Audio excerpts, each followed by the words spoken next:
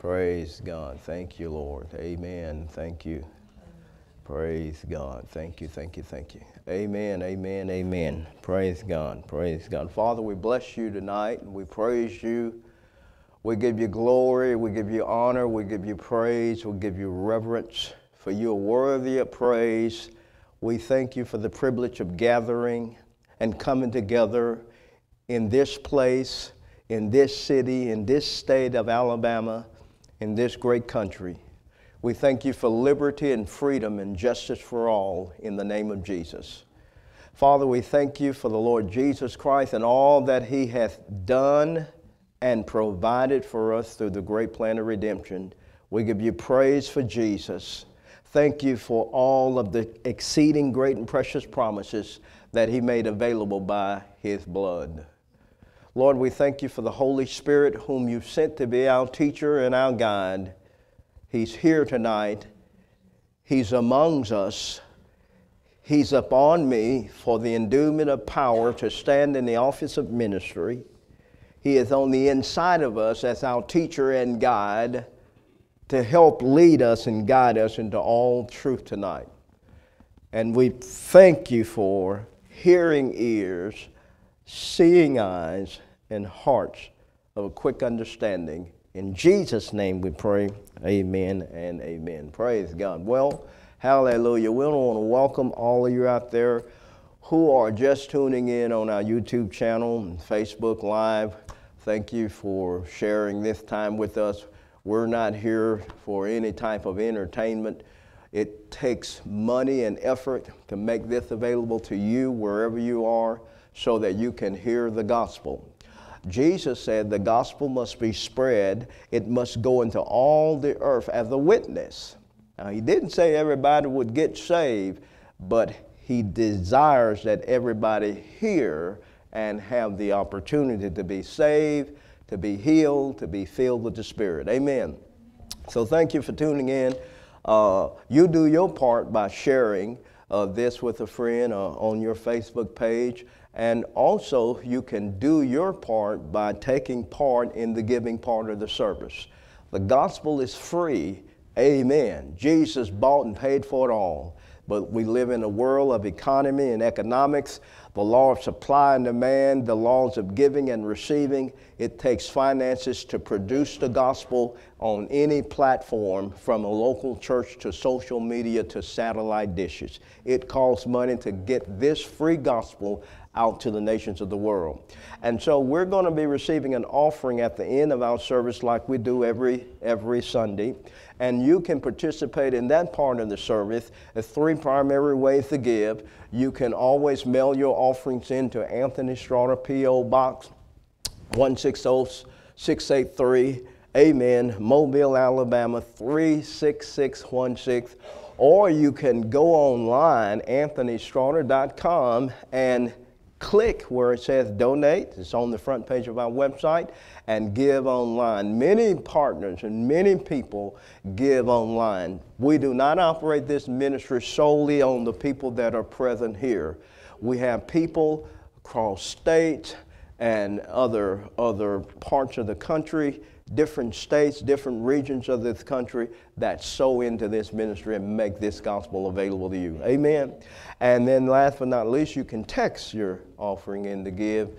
Uh, many of our partners participate in giving through or by way of text. So we thank God for whatever prayer, past, whatever present, and whatever future financial support that you give. You are making it happen.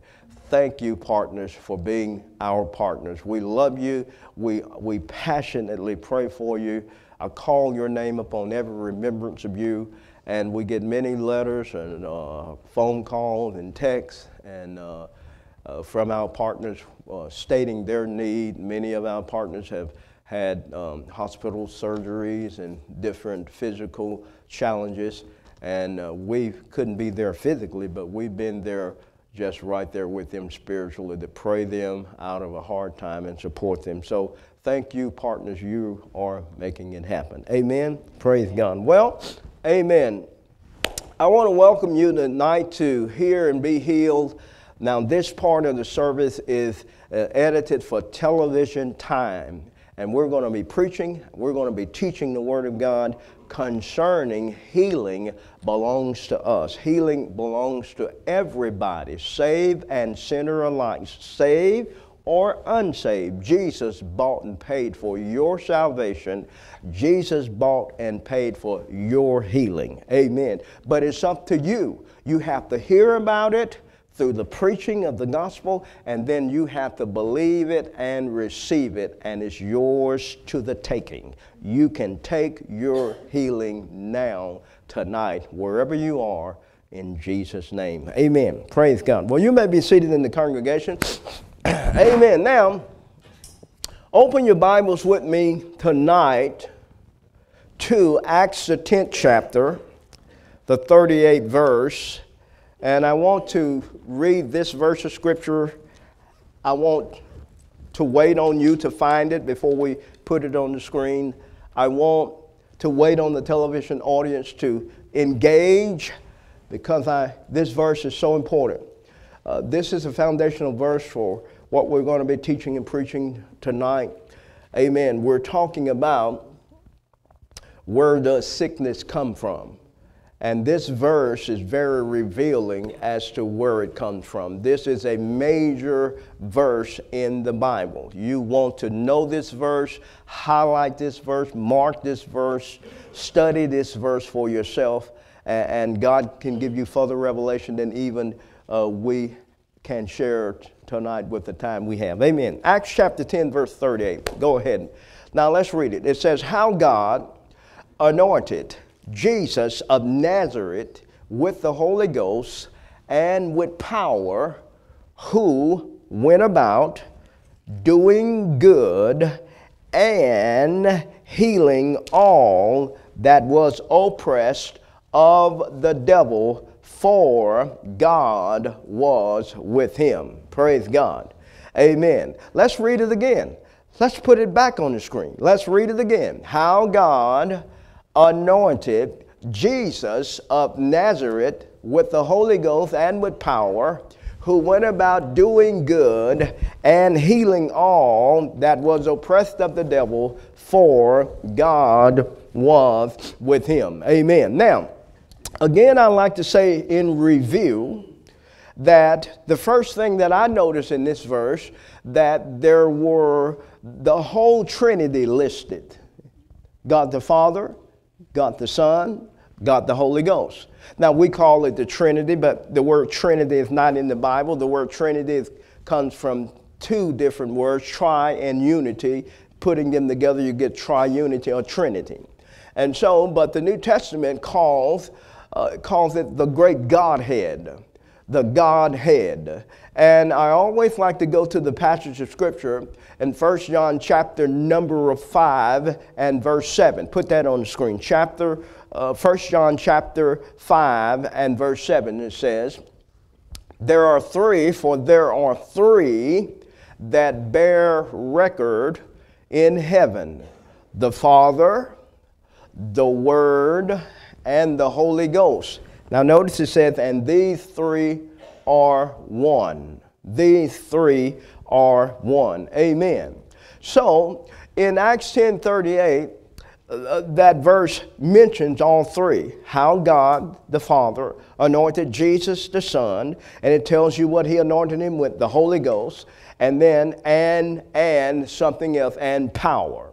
Amen. So, whatever Jesus did as a result of God anointing him must be the will of God because the anointing is burden removing, yoke destroying power to carry out God's assignment in the earth, to do what only God can do. Amen. So God anointed Jesus with the Holy Ghost and with power to go and carry out a commission. Amen. Jesus was on a mission. Now, the mission statement of Jesus is primarily, not, not everything summed up in that verse, but it's primarily John chapter 10, verse 10.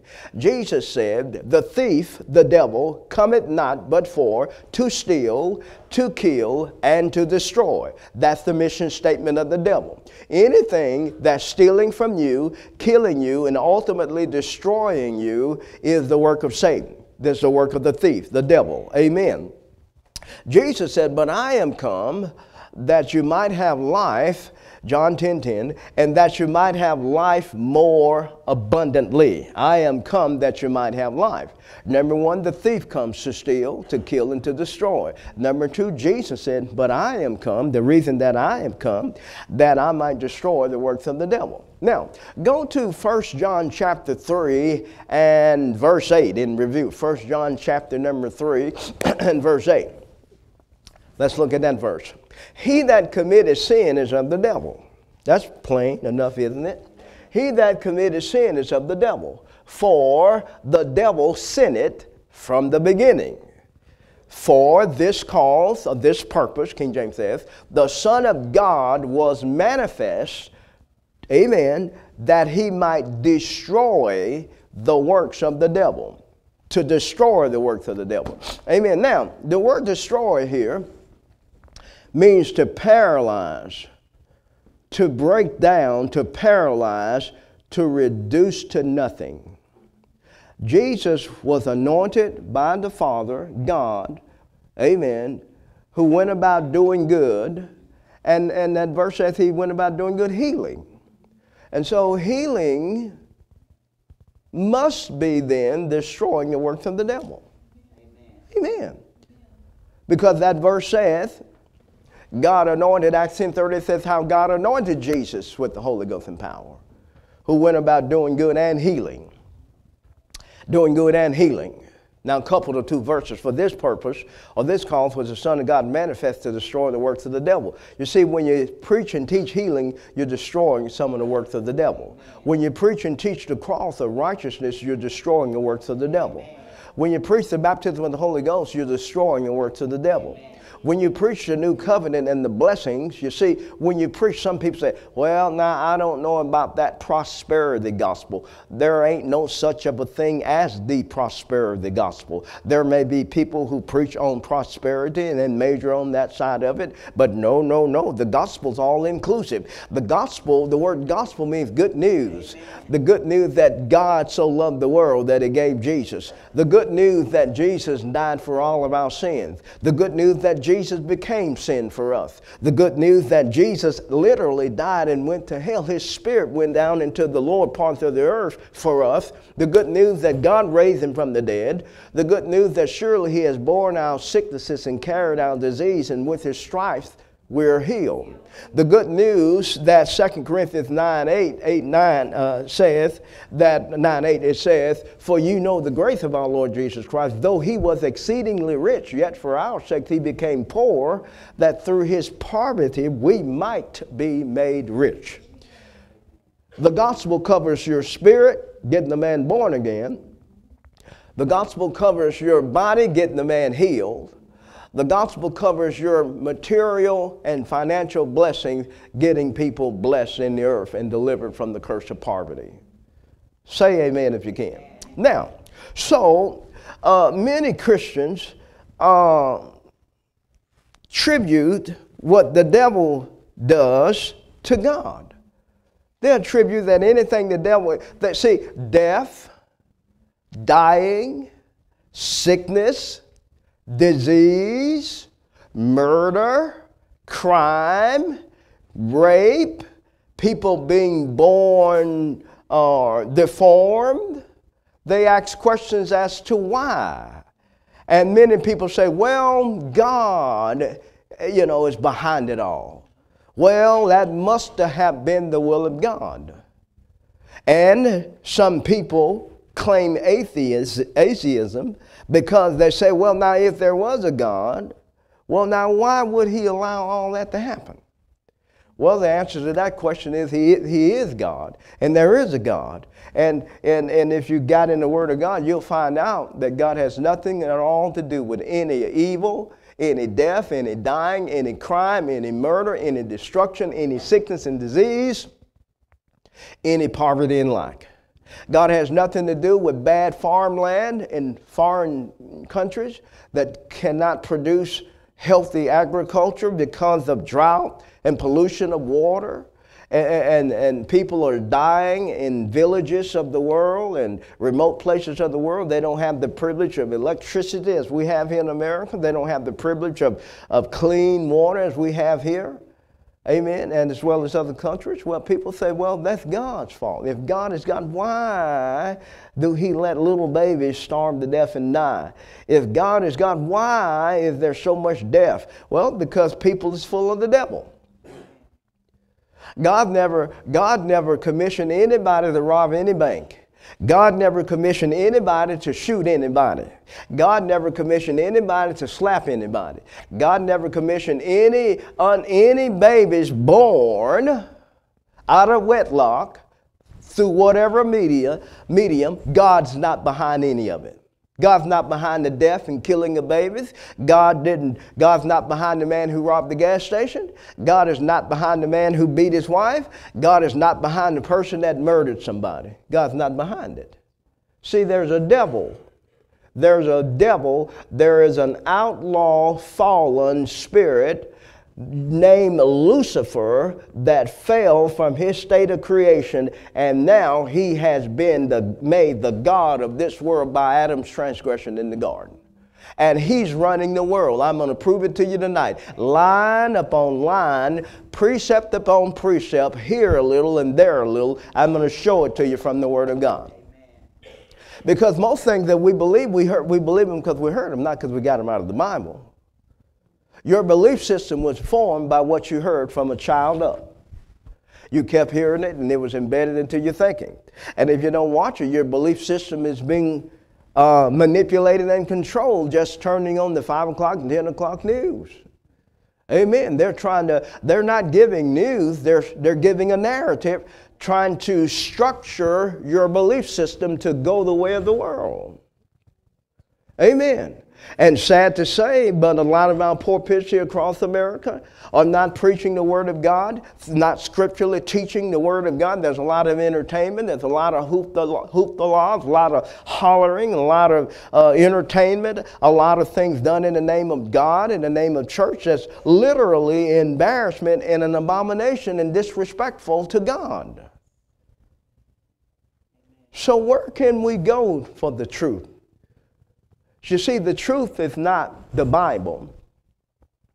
The Bible contains the truth. The truth is the person. Jesus said, I am truth. I am truth. I am the way, I am the truth, and I am the life. The Bible is a book that contains, it is an inspired, written uh, uh, record or the truth. But the truth is the person of Jesus. In the beginning was the Word, the Word was with God, and the Word was God, and the Word was made flesh and dwelt among us. And this Bible, this book, amen, 66 books of exceeding great and precious promise, promises. This book is the Holy Scripture that's been inspired by Holy God, by His holy child Jesus, and by the Holy Ghost, and watched over by His holy angels, and given to holy men who spake as they were moved by the Holy Ghost, and it was inscribed or written down. And it's the Scripture, amen. There's not one verse that contradicts another verse. This Bible was written by over 40 men in a period of over 1,200 years. There are no discrepancies. They had no phones, no fax, no emails, and didn't write the confer, compare notes. And all of them come up with the infallible truth of the Word of God. It's reliable, it's dependable. The Bible says God watches over His Word to keep it or to make it good and to perform it. The Bible says heaven and earth shall pass away before one, one tittle, one dot or tittle, one crossing of the T, a dotting of the I Heaven and earth will pass away before one dotting of the I, crossing of the T is passed away from my word. Amen. You can hang your life on the written word of God. Hallelujah. Well, now somebody say, well, now, but you see, man wrote the Bible. That's an idiotic statement. That's a stupid statement. I don't believe the Bible because man wrote it. Well, you believe the dictionary. You believe the science book. You believe the newspaper article. You believe all the other books. Somebody wrote a cookbook and, and, and you follow the instructions. You don't even know uh, Miss Sara Lee. You don't even know Betty Crocker. You don't even know the person behind the cookbook. But you'll do everything they tell you to do in faith that if I do what they tell me to do, it'll produce this picture. What I'm trying to say is that man, there's no books in the earth on any shelf in any place that has not been written by some person. You see, that's an excuse. People are looking for an excuse not to believe the Bible when they believe every, every other book they read. And the Bible says, Holy men of old spake as they were moved by the Holy Ghost. The Bible says all scripture is given by inspiration of God. That means God breathed. Theopneustos, God's breath and life, was breathed into the scripture. And men spake as they were moved or blown along by the winds of the Spirit. The anointing, the Holy Ghost would come upon them and they would say, Thus said the Lord. Isaiah would say, The word of the Lord came. That means it wasn't there all the time, but when it came, it was canonized in the scripture. Amen. Now, so let's look at the scripture. Go back to Acts chapter 10, verse 38. Let's look at this verse. Number one, it says, How God anointed Jesus of Nazareth with the Holy Ghost and with power and the Greek word there, power, is dunamis. It means miracle, explosive, working power or ability. The Holy Ghost and power who went about doing good. Now notice this, and healing all. Healing all, not some, but all that were oppressed of the devil, for God was with Jesus when he was doing the healing. God anointed Jesus to do the healing. So then, sickness is the work of Satan, and healing is the work of God through Christ Jesus. Amen. You notice it says, doing good, healing all that was oppressed of the devil. So everybody that was sick is under satanic oppression. Sickness is say you ever had a you ever had a marvelous, glorious, peaceful headache? You ever had a marvelous, glorious disease that was so wonderful and glorious? You ever had a pain that was so wonderfully glorious, you just hoping it could stay there the whole while? No, no, no. There's nothing glorious. There's nothing peaceful. There's nothing wonderful about sickness, not even a headache. You don't even want a headache. We're trying to get rid of a headache. Amen. Because it's not the will of God. It's not from heaven. You don't want it. I don't want anything that doesn't come from heaven. Amen. James chapter 1 verse 17 says every good and perfect gift coming down from above from the Father of lights in whom there's no variableness neither shadow of turning. Every good and perfect gift. Healing's good, sickness is bad. God is good, Satan is bad. Sickness is Satan's work, healing is God's work. Anybody that's sick, there's some satanic oppression Anytime there's healing, that's the presence of God on the scene. God brings healing, Satan brings sickness. He went about doing good, healing all that was oppressed um, the devil, for God was with him. Amen. Now, so then, if that's true, Brother Strawder, where does sickness come from? Well, that's a good question. I, I want to show you um, I, I want to show you some verses of scripture that may be very illuminating to you. Now, go to uh, Romans chapter number 5. Now, I'm them out of my notes here. Romans chapter 5, I had a thought by the, given to me by the Spirit, so I'm going to follow that thought. Romans chapter number 5 and verse 12. Romans 5 12. I notice what it says. It says, Wherefore, as by one man. Everybody say one man. One man. Say it loud. Say one man. One man. One man sin entered into the world. Where did sin enter into? The world. And then notice what came with sin and death by sin. And so death passed upon all men. Amen. For that all have sinned. Now look up at me. When Adam sinned in the garden, the first thing that happened to him was he died spiritually. We call it spiritual death. You remember that? That uh, in, um, in Genesis chapter number one, chapter number three, excuse me, Genesis chapter number three, the Bible says that there was a garden planted by God. Now, this is Genesis chapter number two, eastward in Eden. And Eden means the presence of God. It means the place where God met with man. It means pleasure. There was a, a portal or a meeting place that God would come down and meet with his man Adam, and they would walk and talk together as, had a relationship.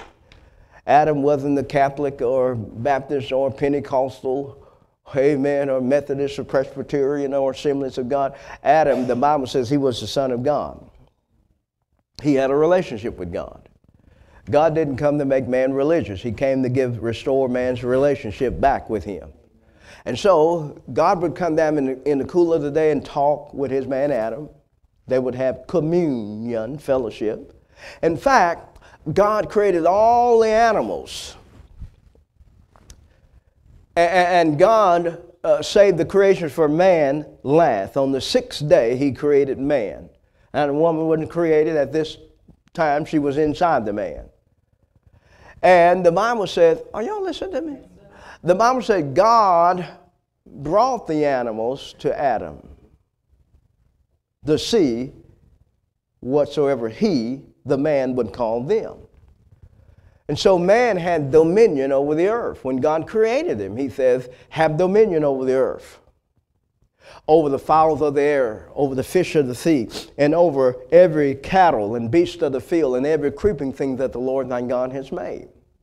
The word dominion means to conquer, to manage, to subdue, to conquer it, to manage it, to subdue the earth. Well, you might ask the question who was there on earth to conquer and to subdue? Adam was the first human being on the earth. He wasn't the only being on the earth, he was the first human being on the earth. Amen. Now you remember the Garden of Eden? Sure you do. and um, God said to Adam, I planted the garden each eastward in Eden. And then he said, Of all the trees thou mayest freely eat, could have been hundreds of them, could have been thousands of them. But there are two trees in the midst of the garden the tree of life, and then the tree of the knowledge of good and evil. Eat off the tree of life, and you may live forever. You see, Adam had life. Everybody say life. Life. But he didn't have the kind of life that you have right now in Christ Jesus. He had life, but he didn't have eternal life. Now, you think about eternal from the standpoint of duration. Adam was an eternal being, spirit being, given a soul, his mind, and personality and will, but put in a physical body so he could have the capacity of operating in two worlds the physical world and the unseen world. Through his spirit, he could operate in the spirit realm through his authority, and he used his authority to govern the natural realm, the earth. Amen. But you see, his life that he had wasn't, wasn't see, when we think about eternal, we think about perpetual existence. But see, actually, the, the, the, word eternal in the New Testament, they translated it eternal life. It's actually the Greek word zoe, which means life as God hath it. It means life with no death. It means quality of life. It means the life of God. It means life, perpetual, ongoing, same, peaceful, godly, holy life of God. Amen. And God said, Now, if you eat of the tree of life, I notice what it said, you'll live forever. You'll live forever. You'll live forever. But if you eat of the tree of knowledge of good and evil, the knowledge of good and evil, you shall surely die. That's Genesis 2.17. Do I have to read all that, or am I quoting it pretty close enough for you to know that it's in there? I, can, I could stop and we could read it. Amen. Now, the Hebrew text, Literally says where King James says, the day that you eat thereof, you shall surely die. The Hebrew text literally says, dying, thou shalt die. The day that you eat of the tree of the knowledge of good and evil, dying, at that point, thou shalt die. Surely not. But if you eat of this tree of the uh, life, thou shalt live forever. Amen. Well, I think I will. You, are looking at me wrong. I don't like the way you're looking at me. It's wrong. Go to Genesis chapter, chapter number two. We won't prove it to you. Amen. See, I saw somebody wanted to know that. All right, then. Genesis chapter. We're still talking about where the sickness comes from. Genesis chapter number 2 and verse 15. And the Lord God took the man and put him in the Garden of Eden to dress it and to keep it. Now, uh, somebody said that's how you keep a wife. You dress her, you'll keep her. Uh, that, that's humor, but somebody says very little, so we'll move right along. 16 verse says, And the Lord God commanded the man, saying, Of every tree of the garden thou mayest freely eat, but of the tree of the knowledge of good and evil thou shalt not eat of it, for in the day, in the day that thou eatest thereof, thou shalt surely die. I got a little T by the word uh, uh, shall surely die. In my Bible, it means translation. And see, it's translating that from the original Hebrew scripture. It says, Dying, thou shalt die. And so, look up here at me. Did Adam, uh, and, and we read on that in, in the third chapter of Genesis, the Bible says, Now there was a serpent. Everybody says serpent. Well, now that's enough. If we just put a period right there, we don't, have, we don't need no other description. I don't know, you know, a, a serpent, a snake, a serpent, a reptilian of some kind. Now the serpent was more subtle than any beast of the field which the Lord thy God has made. And the serpent said to Eve, he came over and started talking to Eve, which he had no business talking to her. Say amen. amen. Now back up with me. Let me, let me tell you this before I get back to that point. When the Lord planted the garden eastward in Eden, in Genesis chapter 2 and, and verse 7, uh, uh, the Bible says he, he told the man to keep the way in the garden. To, he put the man in the garden and he told him to keep it. Keep it. And the word keep means protect the garden. Everybody say protect. protect. You see, um, the order of man is first, a man first doesn't need a wife, he first needs the presence of God. Adam enjoyed the presence of God. He had an assignment from God. He had a relationship with God before he ever had a wife. He had a job description. His job was to subdue the world, have dominion, keep the garden, don't let any intruders in the garden. Keep the way of the garden. Amen. Don't let anybody in the garden. That's Genesis 2.15. Well, look up here at me. There was no other human being on the planet. There was no other human being on the planet at that time. But obviously, there was somebody or something roaming around in the earth that obviously wanted access or entrance into the garden. Say amen. Why would Adam have to protect the garden from nobody that exists? Just keep the door open. Nobody's coming through it. It's just me. And I've got authority over these animals and elephants and giraffes or whatever, and I can set their boundaries. Don't come over here into my garden. Y'all stay out there, so to speak. Because he, he had authority over the beasts of the field and every creeping thing that creeped upon the cattle. He had authority. His dominion was in his words from his mouth. And so God and the man would work together. Women, don't ever leave the church house, quote unquote, the presence of God, and go out yonder somewhere in the world looking for a man to get the man and bring him back into the church or the presence of God, thinking he's going to do right. He's not going to do right. You can't change a man. Oh, he'll fool you a few weeks till the wedding's over. Say amen if you can. Adam, a man needs God I need God before I need a wife. I need God before I needed a woman. I need God.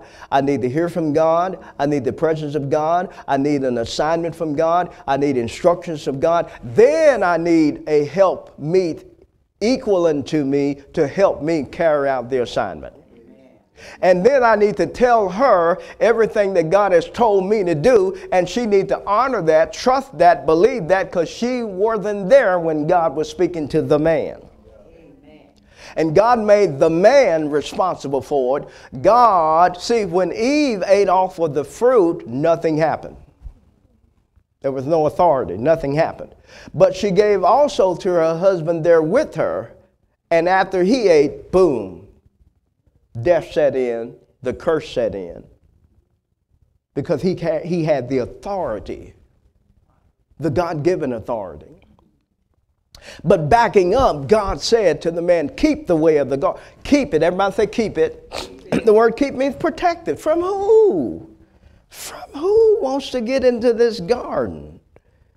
Well, I'll show you. Now, see, I wasn't going this route, but I'm going to take some time and, and, and go this way. Go over to uh, Isaiah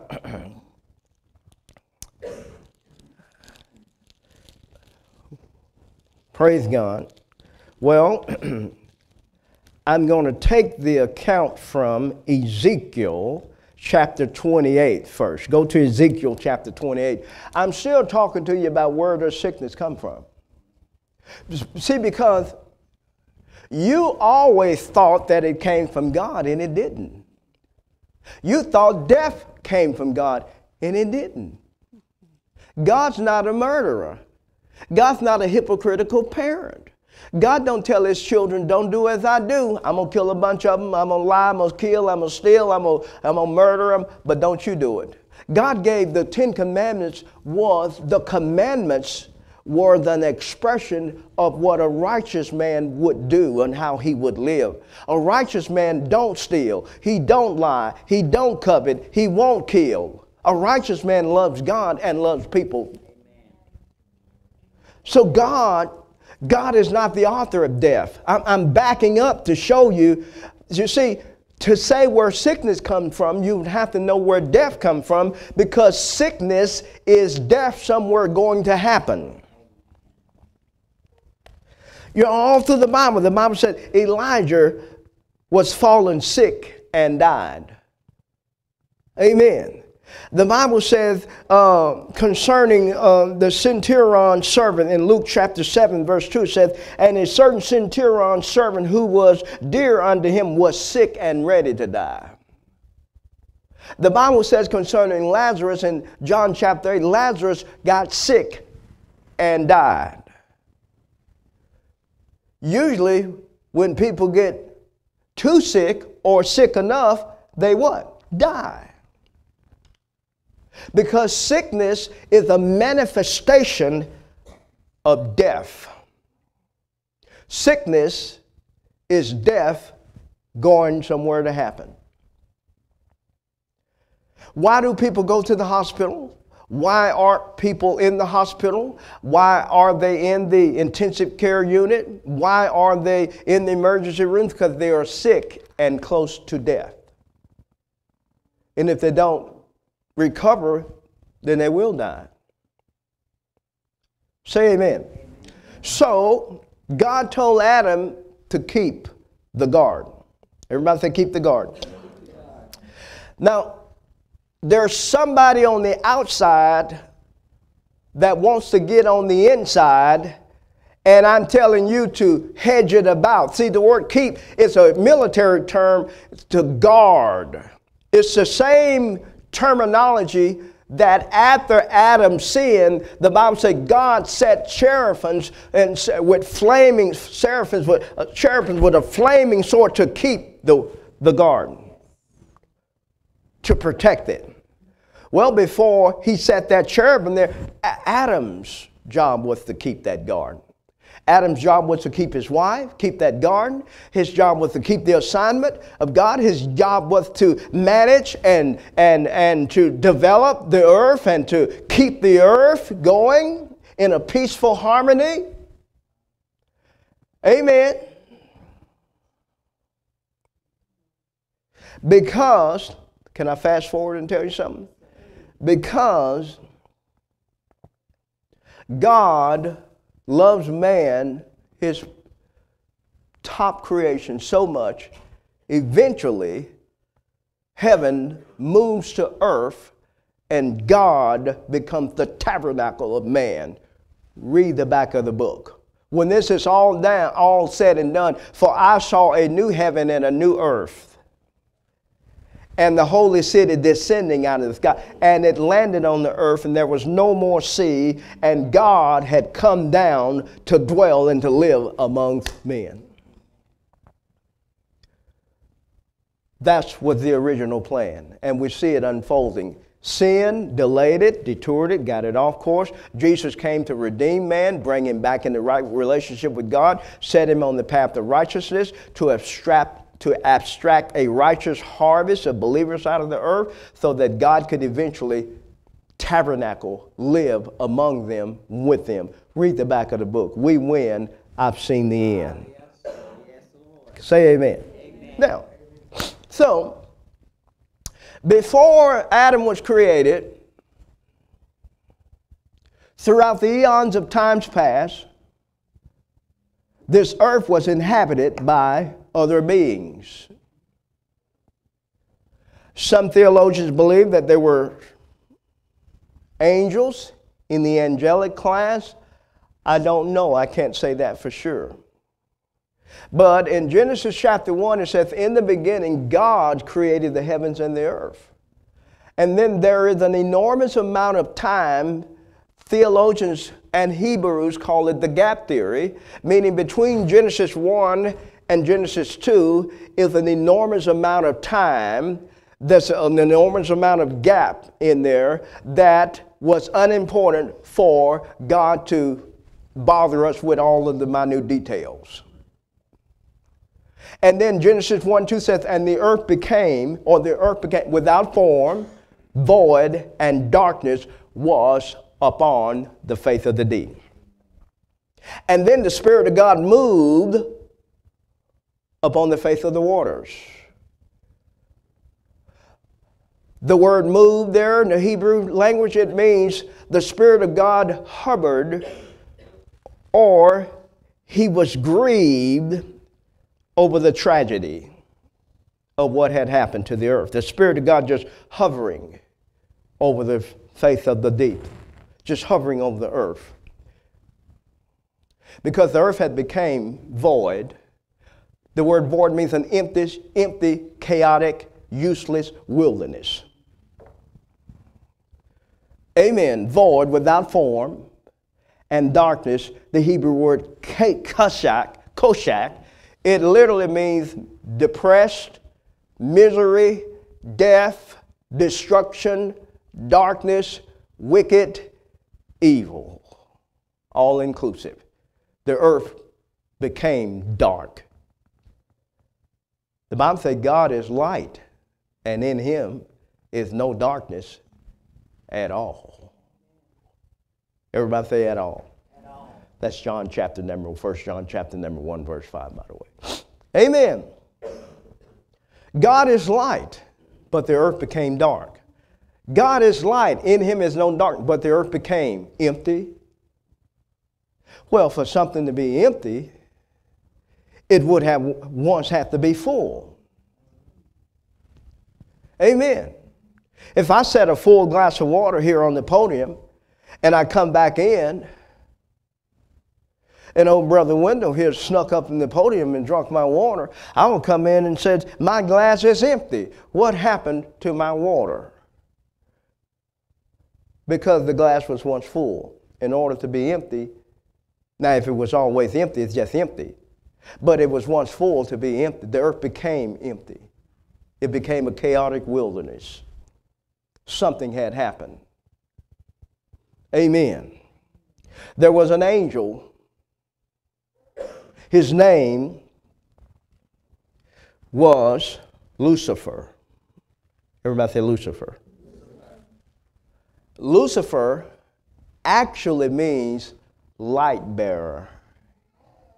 He bared the light in the presence of God. When you read about this magnificent angel of creation, that he was so beautiful, he didn't make music, he was music. He didn't play the saxophone, the clarinet, or the keyboard. He had the pipes, the saxophone, the clarinet, and the keyboards were built inside of him. And he made beautiful sounds of worship and praise in the presence of God, Lucifer. Amen. And one of the highest form of Lucifer, Hallel, Hallelujah comes out of the word Hallel, which means light, to express boldly, to declare, to, to a declaration of what God is. Lucifer obviously was over some kind of praise and some kind of worship. And that's why you see in congregations and churches, nearly all churches stand or fall by the music that's coming out of, their, out of that church. You can look at the music department and the sounds and determine what spirit is operating in that church. I asked the Lord about it. He told me about it. I wrote it down. hadn't said anything to anybody yet about it. I asked the Lord about the music department in the church. Why is it the way it is?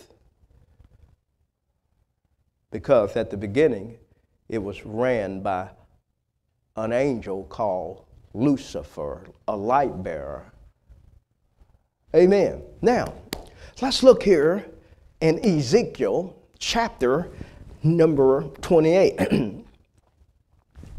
Verse 12, it says, Son of man, take up lamentations upon the king of Tyrus, and say unto him, saith the Lord God, Thou sealed up the sum, full of wisdom and perfect in being. Stop. Now, the king of Tyrus was uh, not a man. Now, listen to me in every nation, there was a literal physical man over Tyre that was a king, but behind every king is a principality or power that's ruling that country or nation. The man, if he doesn't know God, he's, he's in the dominion of Satan. He's in the world of darkness.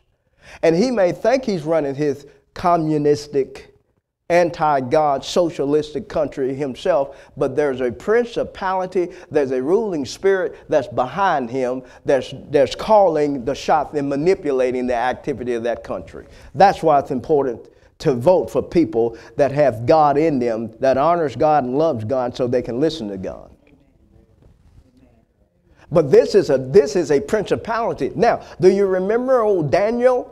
When Daniel was down in uh, down there in uh, in Nebuchadnezzar's kingdom, modern day uh, Iraq, Babylon, Iraq of that day, Iraq of, of this day, and uh, Daniel prayed. He wouldn't bow down and worship the image of the of the king, and he prayed, and, and, and he went on a fast and, and then there's an angel, Gabriel, Michael, um, Mike, Gabriel came to him with the answer. Gabriel. This is, uh, I'm, I'm, I'm, going a direction totally different than I didn't have this plan, so bear with me. Gabriel was just the chief, he is a, uh, an angel, a chief prince that he's an over messengers. He brings messengers, messages to the church. He was the angel that came to uh, Zechariah and announced the birth of John. He was the angel that came to Mary and said, Hail Mary, thou art. He brings the assignment of God. Now, there are other angels under him that bring messages to people in the earth, but Gabriel, I am Gabriel, and I stand in the presence of God. For what reason? To hear from God, to hear God's assignment and then carry it and put it in the earth in the ears of men. Well, Gabriel came to Daniel and said, Fear not, O Daniel. He says, From the first day that thou prayed, thy prayers was heard and answered.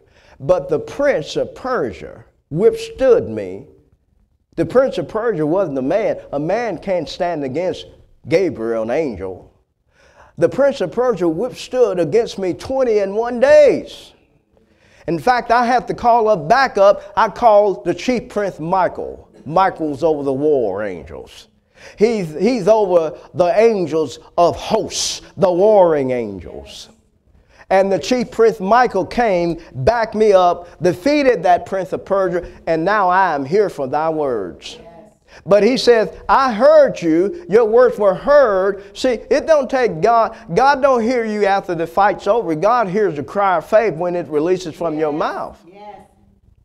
You'd be right, the battle just started. You may think it, it, may be a long process, but God heard you at the beginning, and He says, From the first day thy prayers were, first day you prayed, your prayers were heard. But there's a principality over the air that withstood me 20 and one days, and I called for another chief prince, Michael, to help clear the airways, and now I am come.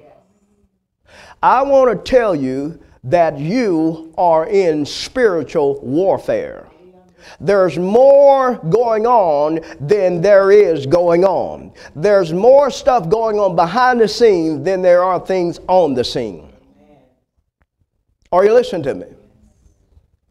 Elijah was giving prophetic words of knowledge to the king of Israel and told the king, the Syrian army, they're coming this way and they're going to try to ambush you here and don't go here and then don't go there and then don't go there. And the king of Syria got frustrated. He said, We have a spy in the camp. Somebody is out telling my secrets that I talk about in the privacy of my own generals in my bedchamber. Who's telling off on me? And they say, None of us, my Lord. But at last, there is a prophet over there in Israel, and he knows and hears what you're doing in your bedchamber, and he's telling people where to go and what to do and what not to do. And he said, A prophet, I'm going to kill him.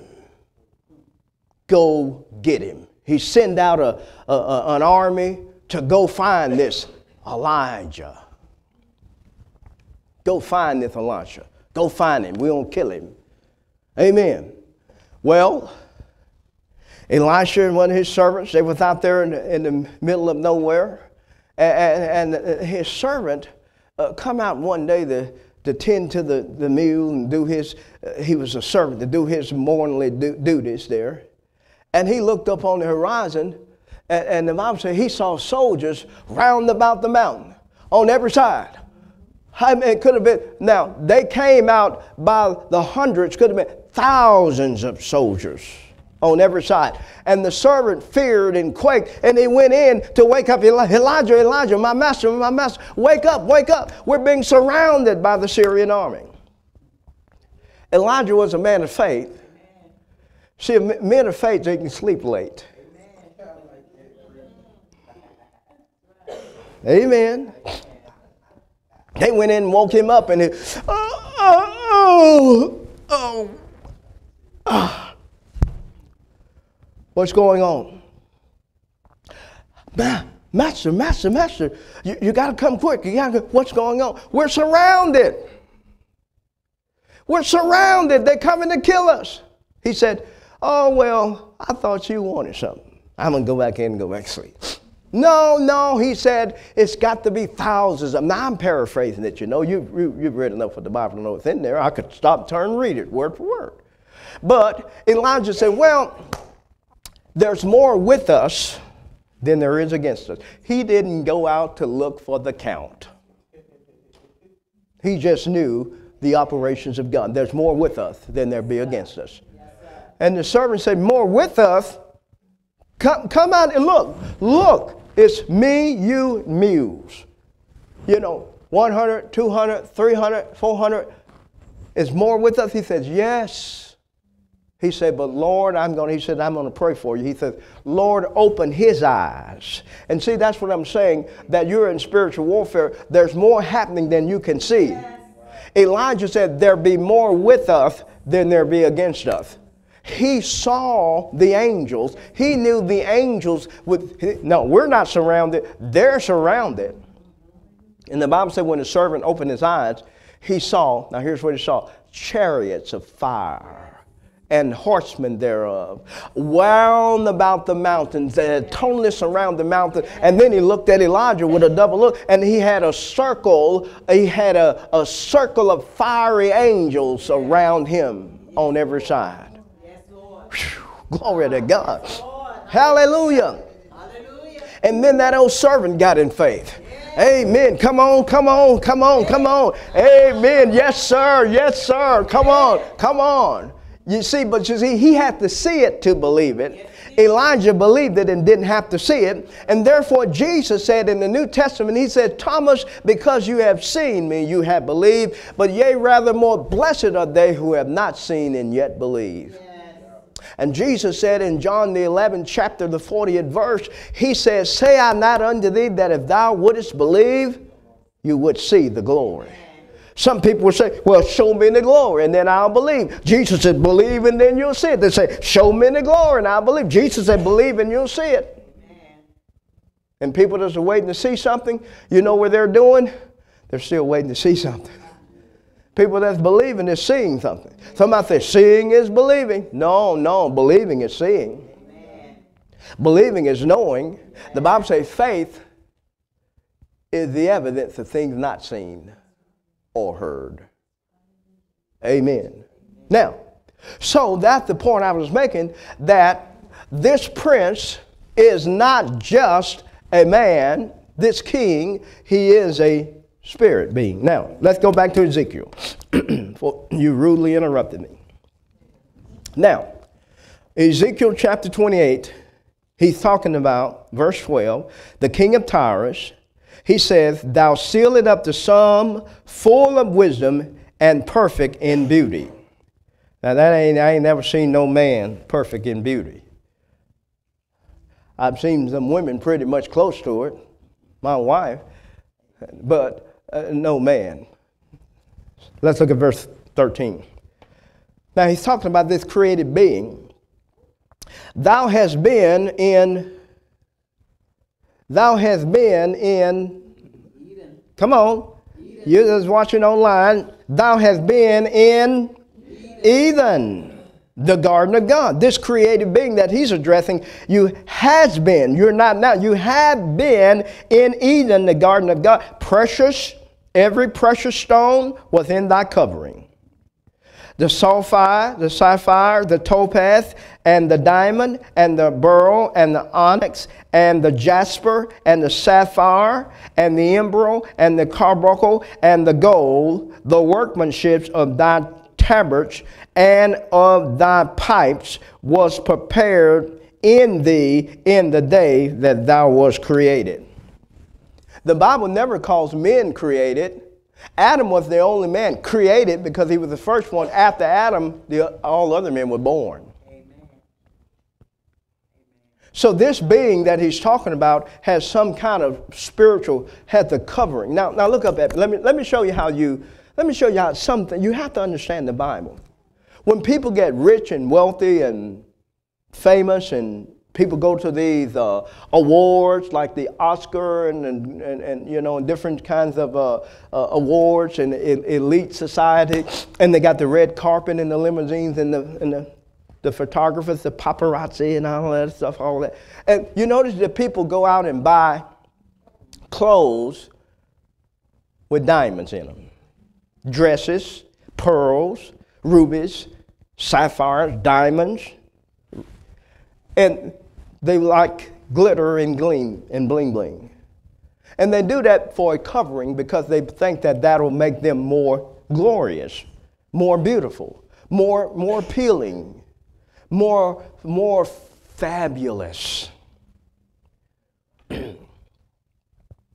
I read of a, a particular star, a rapper, star, female, that uh, the, the, the headlines was talking about uh, how much her, her bikini was, string bikini, that showed a picture. Of it was, it was, it was somewhere like 50,000 plus dollars for a two piece bikini piece that didn't cover much at all.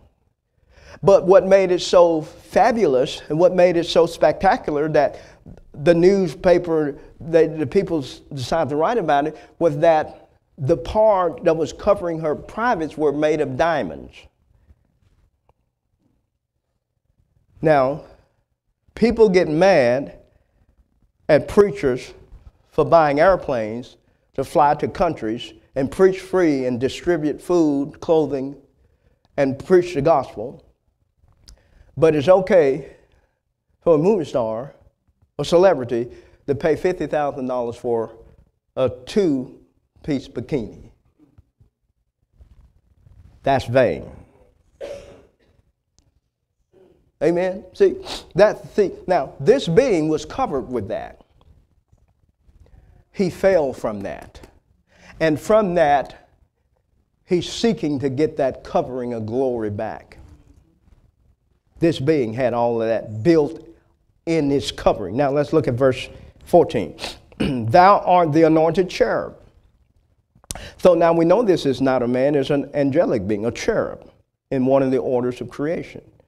Thou art the anointed cherub, thy covering, thy cover, that cover, excuse me. And I have set thee so, thou was upon the what? Holy mountain of God.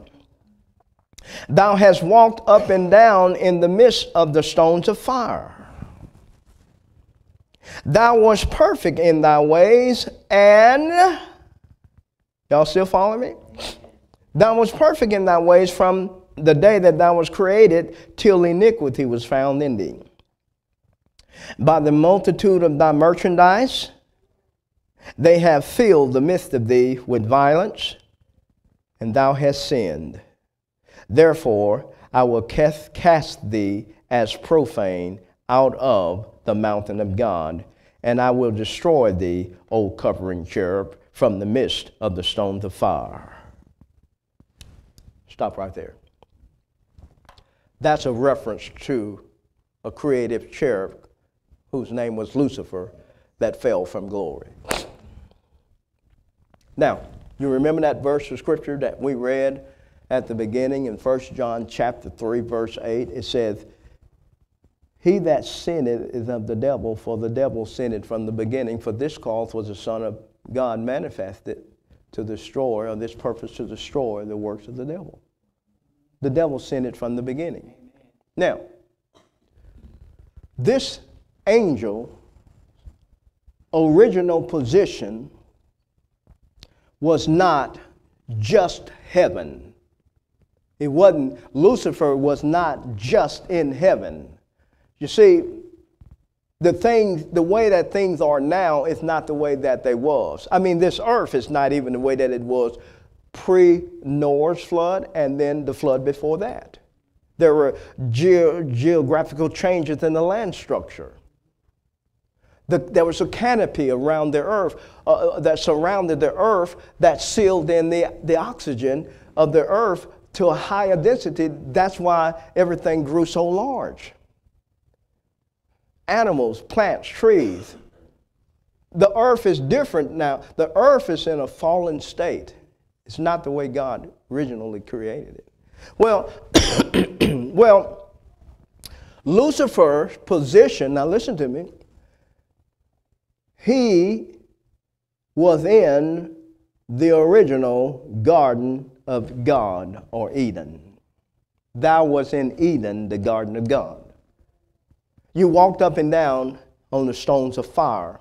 You were somehow in God's presence. You were somehow in charge of bringing people into God's presence or bringing beings into God's presence.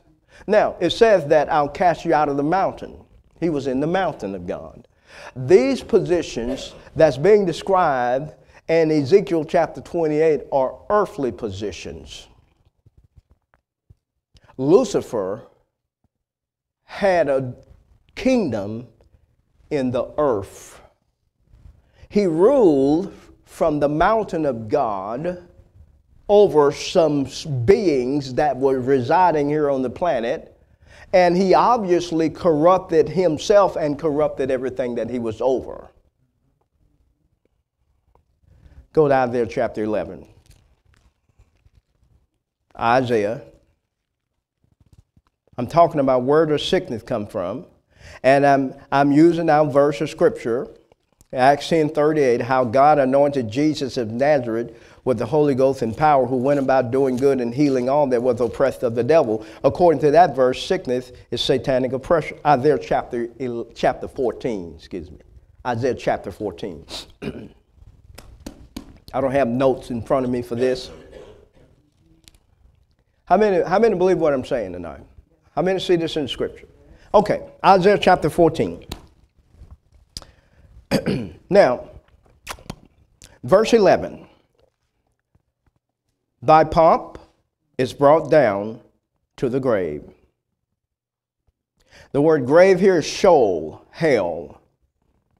And the noise of thy viols, or lutes or flutes, the worm is spread under thee, and the worm covereth thee. Now, hell was not created for man. God loved man. But God gave the first man freedom of choice. And he gives everybody freedom of choice.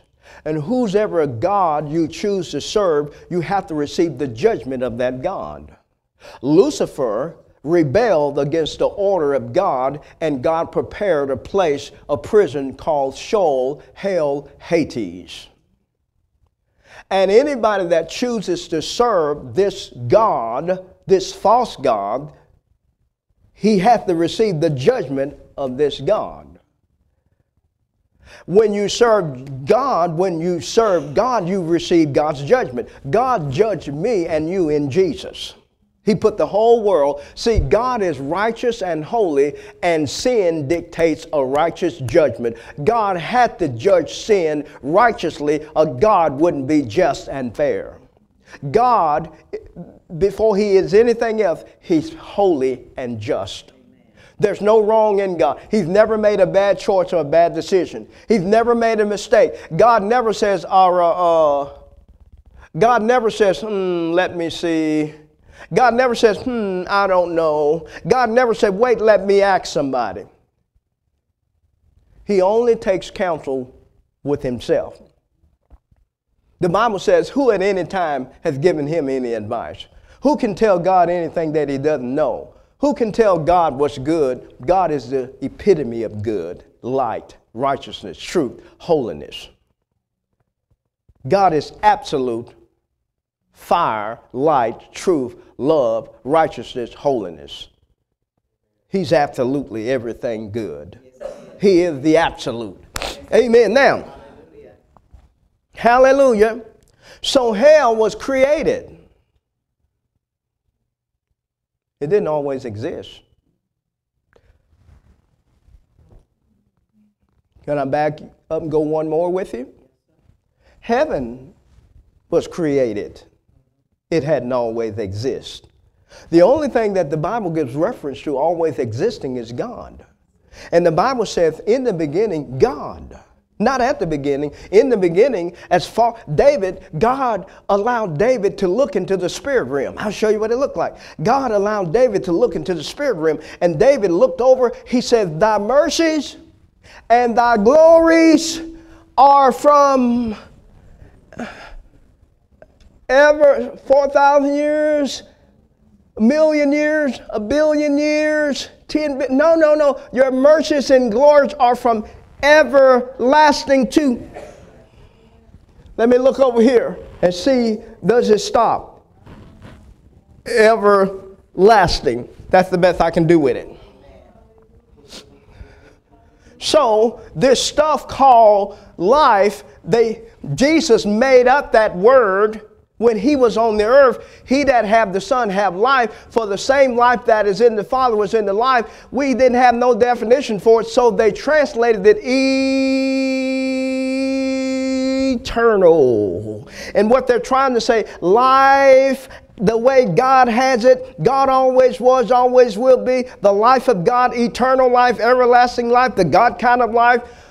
The, the, the Amplified Bible says in Philippians chapter 1, the stuff that makes God God. Say amen. Hallelujah. Jesus said, Whosoever have, have the Son acknowledges the Son have life. The same life that the Father has is in him. I am come that you might have life, and that you may have this kind of life eternally in abundance, in full until it overflows. Amen. So, God, in the beginning, God created the heavens plural, and the earth. Different regions, different compartments of the heavens. At least, the Bible talks about at least three. The Hebrews teach that there's seven. And then they're, they're called stellar heavens, the layers of the atmosphere of heavens. The Bible said the heavens of heavens even declare his glory. Yeah. There are heavens that you can't see yet. Yeah. There are heavens that are reserved that he might show unto us the exceedingly riches of his glory. The strongest telescope in the world can only see a fragmentary part of the universe. They thought they had it all figured out, created a better, bigger telescope, and twisted that thing and turned it a little bit on its axis and found 10 billion other galaxies. We didn't know that was out there. And one day we get to play around out there.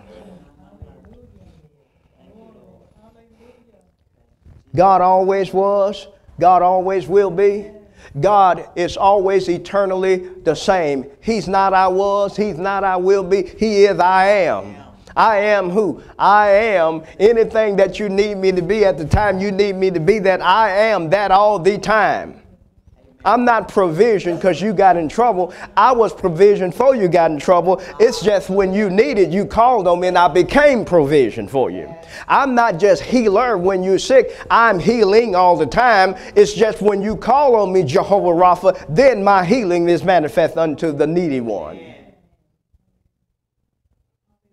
But I am. Moses said, Whom, if I go back, whom shall I say sent me? God said, Tell him I am.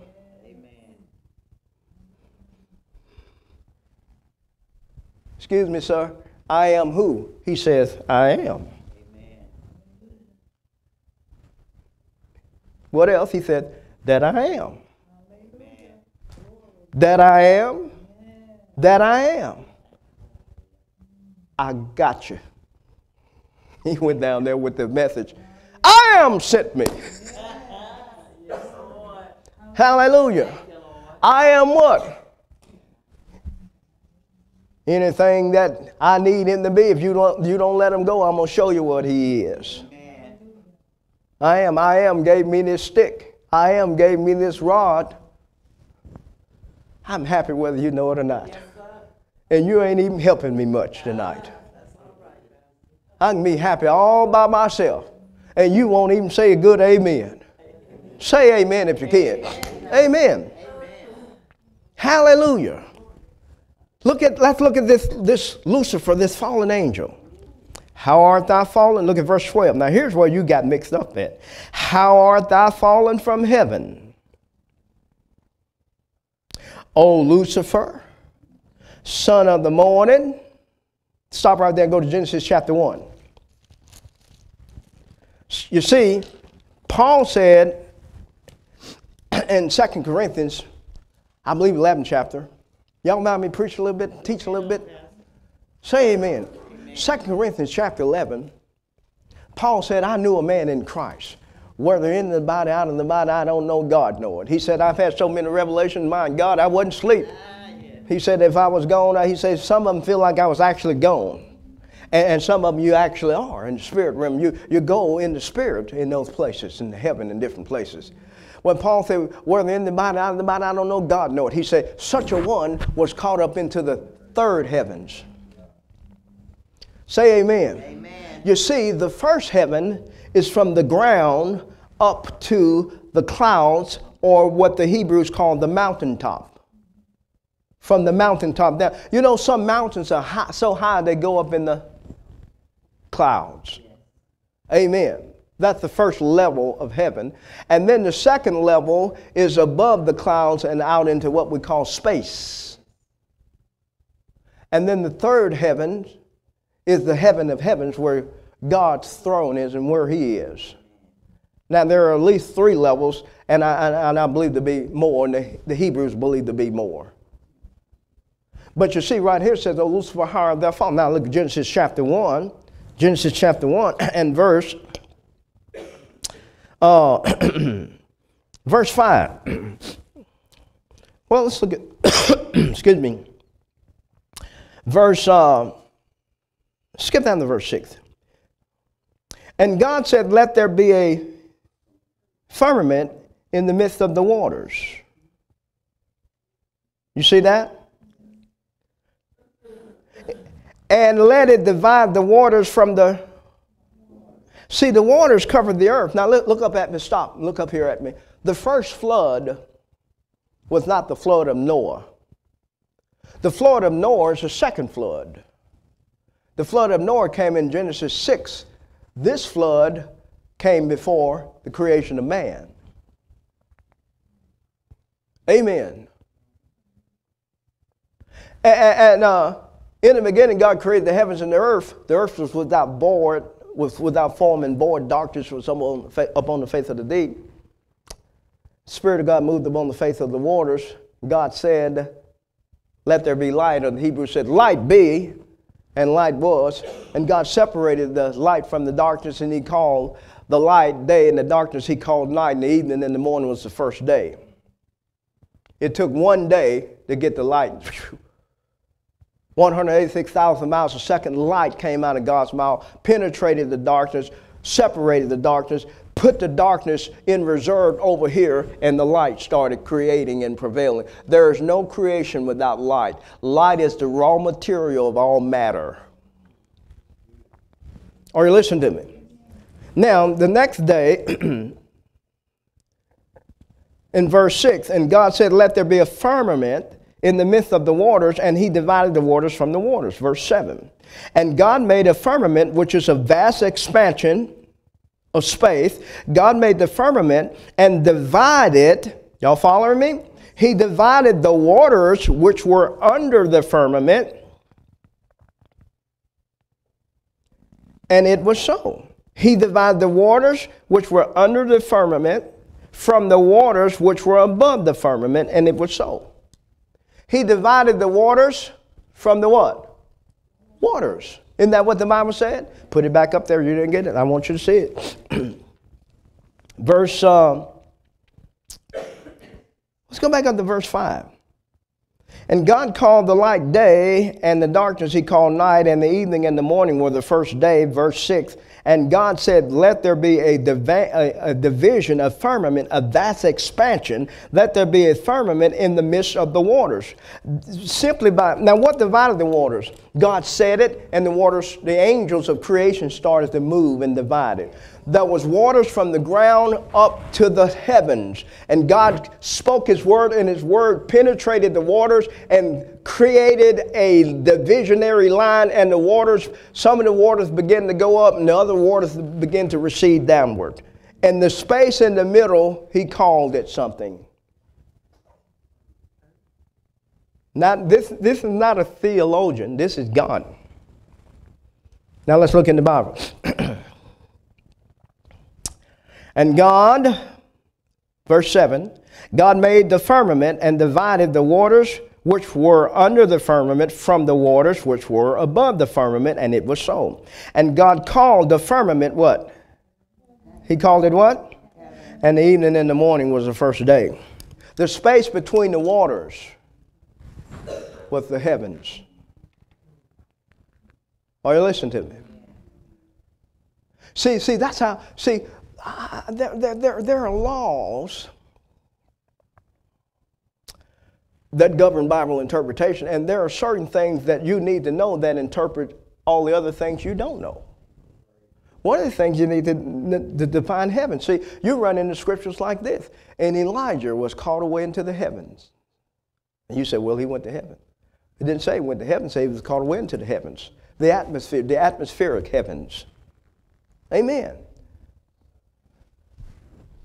And that's what the Bible says. See, see, everything you read in the Old Testament, wonderful. But you come along Jesus in John chapter 3, he says, No man has ascended up at any time. That settled that.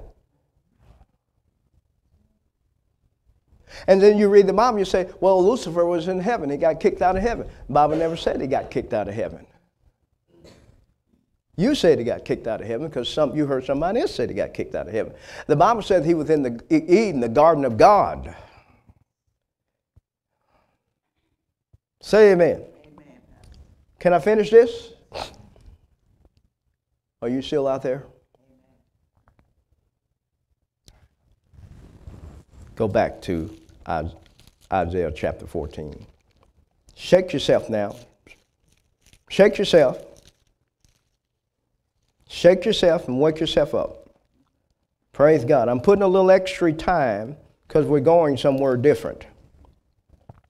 It's going to require a foundational, comprehensive knowledge of the Word of God that can't be shaken by today's philosophy and ideologies science, theology, and religion.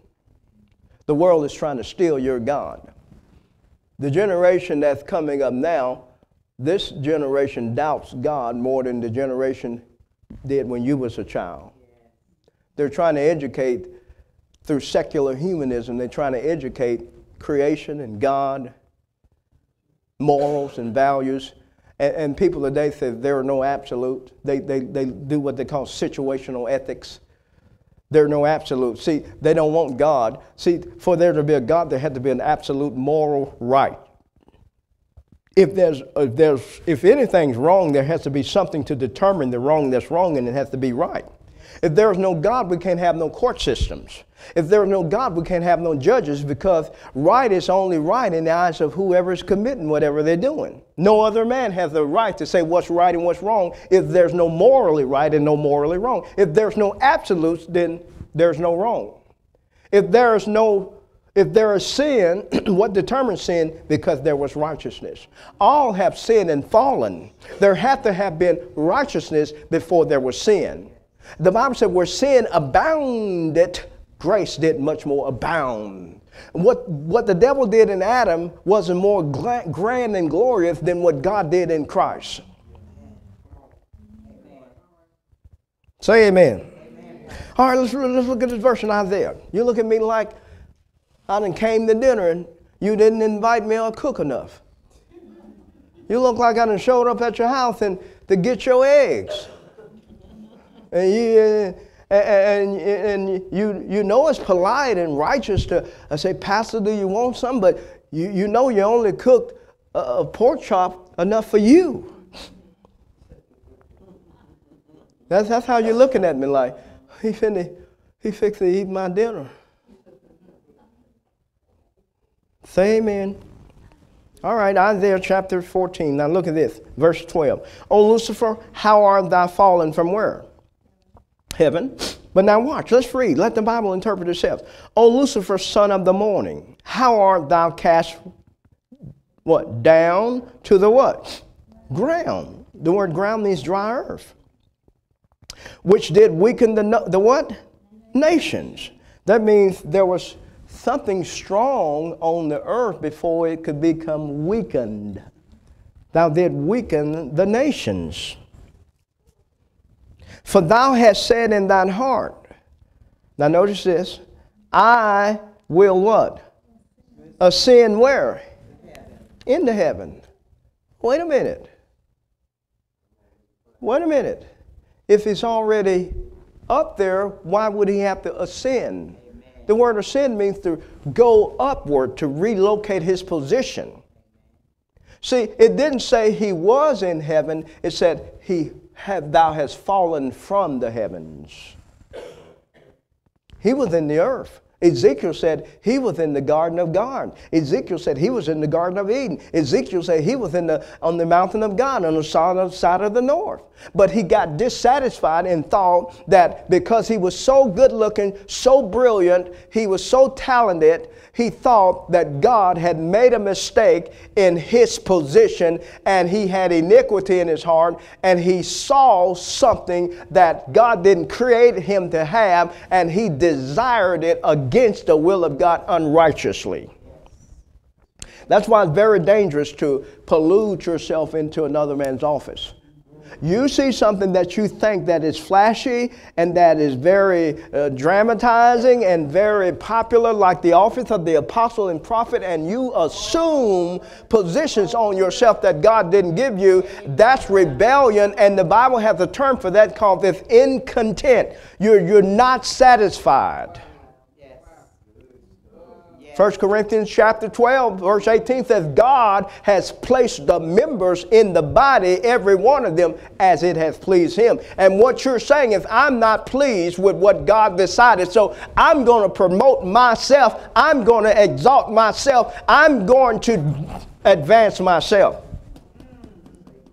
That's the original sin.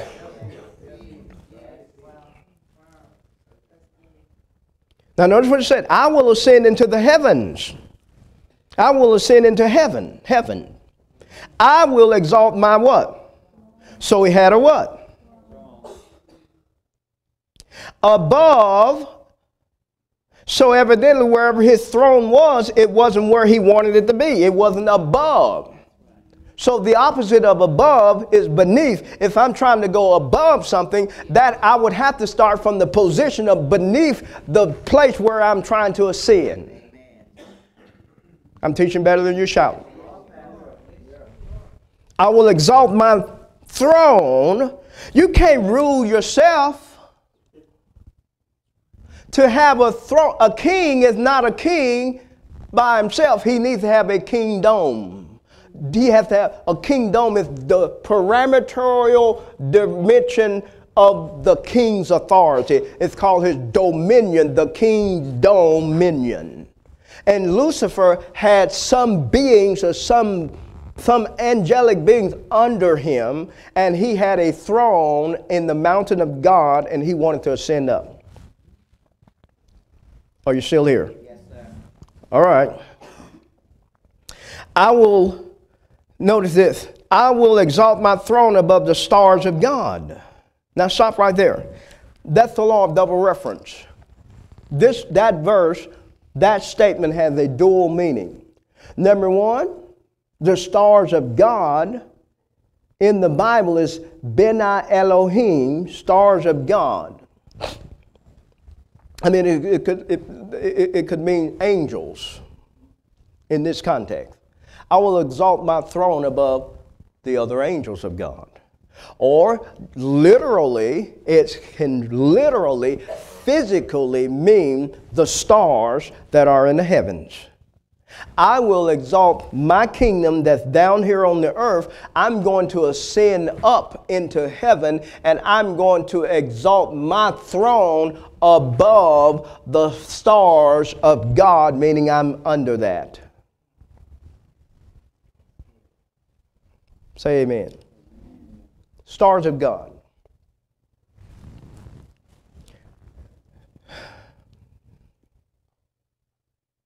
Amen. Look at the next part of that verse. I will sit upon the mountain of the congregation in the sides of the north. I want to I want to I want to exalt my congregation. I want to exalt my authority. Now look at verse 14. I Five times, I will ascend into heaven. I will exalt my throne. I will sit upon the mountain of the congregation of the sides of the north. In verse 14, now I will ascend above the heights of the what? So he had to have been under that. Wherever he was trying to go, he started below that. What I'm trying to tell you is that I said originally when God created Adam and he, now notice, let, let me, let, me, let me tie up something real quickly because of time. When God created man, if you study what he did when he created him, in Psalm 8, it says, He created man and set him over all the works of his hand. Didn't the Bible says that? The Bible says, crowned him with glory and honor and set him over all the works of his hands. Psalms 8 starts by saying, O Lord, thy Lord, how excellent is thy name in all the earth. When I consider the heavens, the work of thy hand, the moon and the stars, what is man that thou hast art mindful of him, or the Son of Man that thou wouldst come out of heaven and visit with them? For thou hast thou hast crowned, thou hast made him a little lower than and that the, the King James translation said a little lower than the angels. The Greek text says he's made him a little lower than Elohim, which is the Hebrew term for God. God created man a little lower in his own image, in his own likeness, and God gave man a dominion called the earth and told him to be king, to be Lord, to keep the earth. I'm going to take care of the heavenlies. I created you to rule and to reign, to be like me, love like me, talk like me. You're my creation in my image, in my likeness, and I'm going to give you your own place of dominion I'm going to plant a garden called Eden, and I'm going to come down and commune, fellowship, walk with, talk with in the cool of the day, the breeze of God. I'm going to come down in the ruach of my spirit, and I'm going to I'm going to talk with you and give you instructions there. But now you keep the way of the garden and don't let anybody in the garden. Ain't nobody else out there, but there was somebody who once was in the garden that's jealous, mad, and angry because he saw God create something that was obviously better than him because that looks just like him. I'm beautiful and I'm good looking, but I wasn't satisfied. But he created something. The Bible said, for one in a certain place testify, saying, What is man? When God created man, there wasn't a crowd of people standing around watching. See how this going to come out. They didn't call the police, the ambulance, or the fire truck of the crowd. It wasn't a crowd of people standing around watching. There wasn't nobody there. But obviously, there was a heavenly audience somewhere, some kind of beings or spirit watching and saying, What is he doing now? He's, re- he's duplicating himself. He's creating something in his that looks like him. He put life, breathed into this shell of a man, put a spirit in him, and gave him dominion. And then he crowned him with a covering, with, with light. The light wasn't in him, but the light was around him. It was his covering. Somebody once had that light called Lucifer. Somebody once had the anointing called the anointed cherub. Somebody once was in the garden of God, the Eve, the mountain of God, called Lucifer. Some, someone, somebody once was responsible for giving God praise and honor and glory, but now some other being called man has taken my place. Now he has the anointing. Now he has the glory. Now he has the honor. Now he has the wisdom. Now he's called to worship God. And I'm mad and angry and envy and full of strife and division. And the Bible says, where there is envy and strife, there is evil and every evil work. Yes. Yes. God said, keep him out of that garden. Don't you let him in that garden. Because he was once there and he wants back in. But I put you in there. And God said, I'm not going to keep him out there for you. You have authority over him. Well, let's read the rest of this verse. I want you to see something here. Verse 14 I will ascend above the heights of the clouds, I will be like the Most High. Yet thou shalt be brought down to hell. Boom. At my words, hell was created.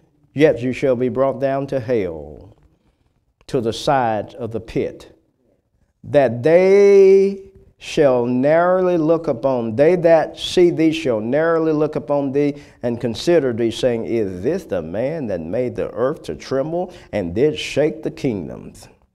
that that made the world as a wilderness. In the beginning, God created the heavens and the earth, and the earth became void, darkness, and without form. Thou hast made the world a wilderness, and hast destroyed the cities thereof, that opened not the house of, thy, of his prisoners.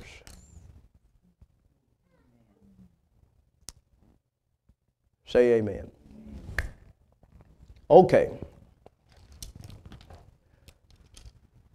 So, when Adam sinned, he died spiritually. He obeyed, disobeyed God. He really didn't, he, he obeyed his wife at the expense of his own spiritual judgment.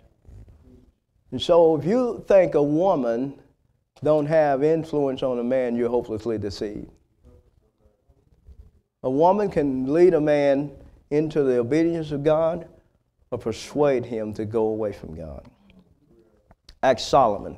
He did everything God told him to do, but he brought in strange wives, and they brought their gods, and they, they got Solomon off of the right path. Somebody says, Well, why does the devil use a woman? Well, the first one worked. Ain't no sense in recreating the. Ain't no sense in reinventing the wheel. The first woman got that one, and the second woman, and the third woman, and the fourth woman, and the fifth woman. A lot of strong preachers. One of the strongest preachers I know of was Samson. and a woman got it. One of the greatest kings in the Bible was David, and he yielded to a woman. The devil says the first one worked. So he kept using that pattern. Are y'all still out there? Well, I, am done. I'm not finished here, but, but uh, I'm done. Now, give me, give me, will you give me three minutes? Y'all give me three minutes? Would you give me three minutes? Would you give me three? Would you give me three minutes, sir? Three, six, nine, 12, 15, 18, 21, 24, 27, 30. All right, somebody took their three minutes back. and No, I'm kidding. Let me quote this and I'm done. 2 Corinthians chapter 4, verse 4 says, Satan is the God of this world. Ephesians chapter 6, verse 12. We're going to pick it up here next week. It says, For we fight, wrestle not against flesh and blood, but against principalities, against rulers of the darkness of this world, against spiritual wickedness in high or heavenly places. That's who we're fighting against. Jesus said in John chapter 14, verse 30, the night he was betrayed, he says, Behold, the prince of this world cometh. He didn't say, Behold, Judas and the Judas and the and the soldiers are coming. Judas and the and the Jude, Judas and the Roman soldiers are coming. No, he said the prince of this world is coming. Yes. They were motivated. Judas was motivated by the devil. In the 13th chapter of John, the Bible says, and Satan entered into Judas. And Jesus said, Now Judas, go do what you'll do and do thou quickly. And the Bible says, and Judas left and Satan entered into him and left the room. Say amen. amen. 1 John chapter 5, verse 19 said, The whole world lied in wickedness. The whole world lied in wickedness. 2 Corinthians chapter 2 verse 8, 1 Corinthians chapter 2 verse 8 says, if the princes of this world would have known that God was going to raise Jesus from the dead, they would not have crucified the Lord of glory. Satan is the God of this world. Ephesians chapter 2, verse 2 is Paul said, Where in times past you walked according to the course of this world, according to the prince of the power of the air. The word prince means ruling magistrate. It's the Greek word archon. It means ruling magistrate, chief magistrate. The devil is a ruling prince. And the Bible says, he says, anyone that doesn't walk with God you're walking according to the prince of the power of the air, the spirit that's now working in the children of disobedience. Jesus said, Love not the world, neither. The Bible says in 1 John 2.15, don't love the world, neither the things that are in the world. The lust of the eyes, the lust of the flesh, and the pride of life shall perish with the using, but whosoever do the will of the Lord shall abide forever. Can you say amen? amen? Jesus said in John 16 33, In the world you shall have tribulation, but be of good cheer. I beat it. I've overcome the world. Satan is the God of this world. Can you say amen? The Bible says, Whosoever is born of God overcometh the world. This is the victory that doeth our faith. Our faith. Isaiah 61 says, Darkness shall cover the earth. We see that in Genesis. And then gross darkness to people. But arise and shine, for we're the people of the light, for thy light has come. Say amen. And all through the Bible, Revelations 12 7 says, Satan, that old serpent, the dragon, the devil, deceiveth the whole world. He's called the God of this world. He's come to steal, he's come to kill, and he's come to destroy. He's the one that's bringing the cancer. He's the one that's causing the murder and the crime and the rape. The Bible says through one man's sin, one man's disobedience, Adam, sin entered, and then death came in by sin, so that now death has passed upon all men. There's no such thing as there is a time. The Bible never teaches there's a time to die for everyone. There's not an appointed day for everybody to die. There's more scriptures in the Bible that tell you things you can do to live long. Number one, honor your mother and father, and your days will be long and not be cut out. Your lamp won't be put out early. The reason we have a lot of young people dying today is because there's no honor to their parents. And the problem is, in many cases, there is no parents. And they're dying 15, 16. Children are shooting, killing each other. Amen. Their days are being cut short, their lamps are being blown out. That's the devil, that's not God. And so, my mission and our mission is to expose the works of Satan, to teach, to preach the Word of God, to reveal the truth of God. He that sinned is of the devil, for the devil sinned from the beginning.